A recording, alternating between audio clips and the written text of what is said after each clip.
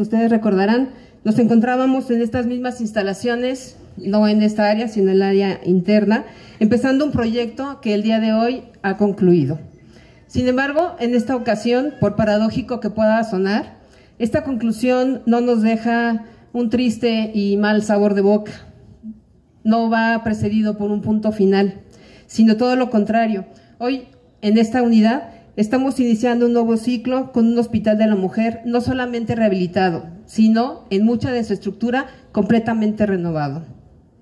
De este proyecto inicial, en el que solamente se había contemplado, dirán por ahí, una manita de gato, estaban contempladas pinturas, luminarias, impermeabilización y desasolve, pues la verdad es que dimos un gran salto gracias a un tremendo apoyo, señor gobernador.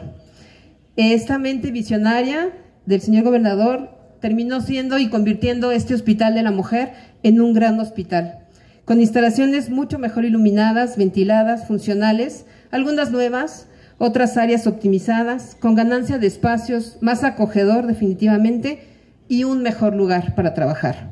Pero no solamente para el trabajo que día a día desempeñamos, sino también para brindar una atención digna y de calidad a todas nuestras usuarias en atención obstétrica, ginecológica y neonatal que requiere este Estado. En resumen, le comento que están completamente habilitadas las 65 camas para adultos en el área de hospitalización, cuando antes solamente utilizábamos la mitad de estas, de estas camas.